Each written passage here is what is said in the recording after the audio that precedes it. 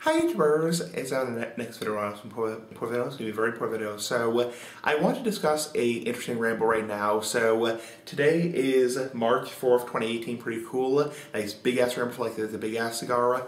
So basically, if you watch my videos on a regular basis, I know Fred like these rambles, basically I always say when I discuss like cigars or pipes or things that may be unhealthy or, you know, controversial, that kind of stuff, it would be different if X, Y, and Z. So not X, Y, and Z, big ass of life. You get the point. So it would be different if if I was under 18, it would be different if I was 500 pounds. You get the point. So right now, I want to give you some examples. I do apologize for the lighting in the camera. Sorry about that. My window's open. I had a leak on my um, my windowsill, so the window has to remain open. I'm sorry about that. I'm sorry about the lighting quality. So basically, I want to give some examples of where it would be different. So nice big ass ramble for life.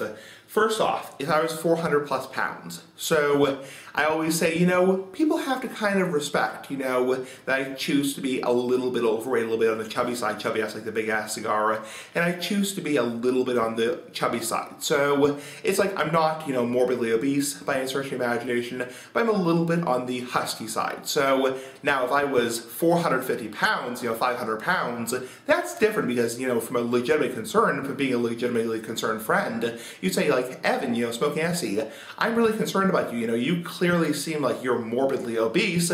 I'm really, really concerned about you from a friend's standpoint, and I want to see you have like a heart attack when you're 30 years old. So I'm really, as a friend, I'm really concerned about you.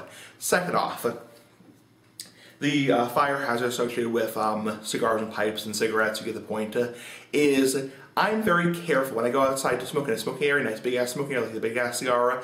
I safely dispose of my cigar butts or my pipe tobacco ash, pipe tobacco ash uh, in a pipe in the bucket. Or when I'm at home, I have ashtray, so a dog food dish which is an ashtray. And I don't throw my cigar butts like some, you know, irresponsible, arrogant asshole cigarette smokers who, you know, flick their cigar their cigarette butts all over the place. I'm somebody who always puts out my cigar butts in the right place. So I always make sure they're not hot. I make sure they're not, you know, you know, I, am very careful because, you know, it is a fire hazard to smoke. So, you know, some arrogant asshole cigarette smokers go like, you know, they flick their cigarette butts all over the place. Not only is it littering, you know, litter ass like the big ass cigar, okay, I'll stop it. not only is it littering, that it's also, you know, a huge fire hazard, you know, throwing cigarette butts. I think that's where a lot of the hatred comes from, you know, cigarette smoking. See people, you know, throw their cigarette butts all over the place, you know, almost causing a fire, or are, are causing a fire, you get the point, big ass for life. Uh, next thing, is like um, secondhand smoke. So I'm aware there is a risk involved with the potential risk of cigar and pipe smoking, even though it's probably less dangerous than cigarettes, is I don't blow smoke in people's faces. So I always smoke not around other people unless they smoke themselves.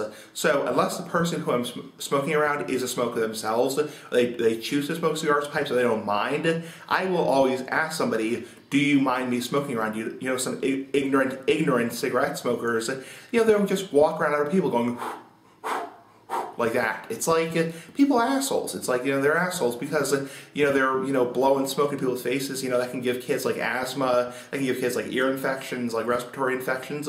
I mean, don't be asshole. It's like you know it's like okay, I understand. You know you may not want to smoke outside in the cold or the rain, whatever rain okay, I'll stop. Okay, I'll stop. It gets a little bit annoying. Uh, but uh, it's like you don't want to smoke around little kids. It's like you know if you're gonna smoke it's like, you know, smoking a designated area outside, unless, of course, your apartment allows smoking, which mine does not. And, you know, even then, if you have little kids or pets, don't smoke around your little kids or your pets. You get the point. So I'm not somebody who purposely, I only smoke outdoors. I'm not an ignorant, you know, a-hole who goes around, you know, with smoking around other people. In other, in other words, I don't smoke around other people unless they unless they smoke themselves. So my tobacconist smoking lounge, Washington Cigar in Massachusetts, I smoke in the designated area, but nowhere else. So because all the other people in the lounge also smoke cigars. So in other words, I don't smoke around around non-smokers. Next thing is if I was under the legal smoking age, which in Massachusetts, the legal smoking age is 18 or 21, depending on the town or city. So in West, in, in sorry, I almost said my town name, sorry, in uh, Massachusetts, sorry about that, I almost gave away my town name. In Massachusetts, um, the, the, uh, the legal age is between 18 and 21. So in my town, not going to say where I live, I almost slipped up and said my town name. In my town, the legal smoking age is 18. Sorry about the rambling.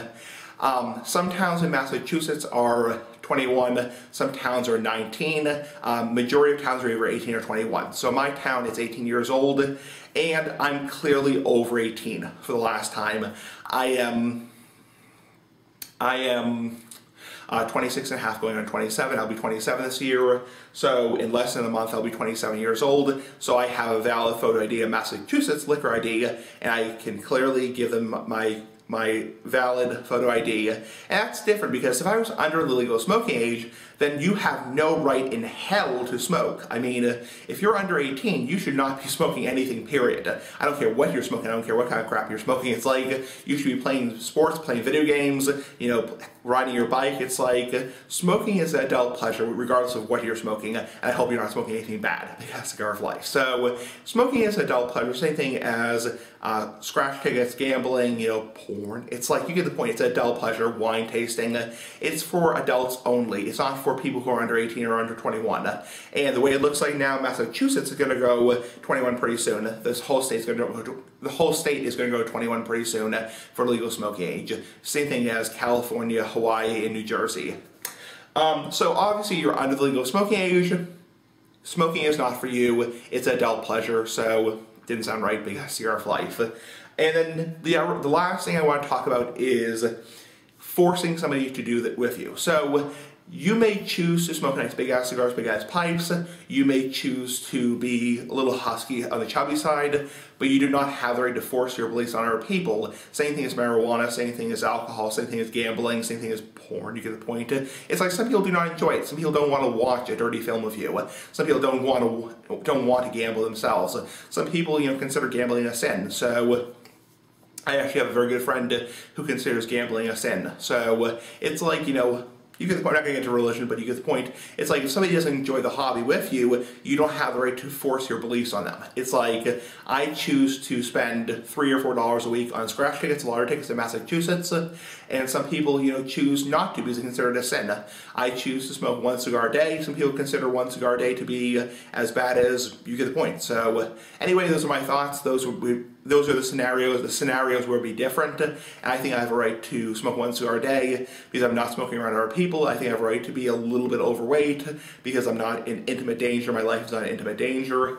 And I have a right to do my own things. Big ass cigar life. Give us bye. Big ass cigar life. Nice big ass ramble life. Bye.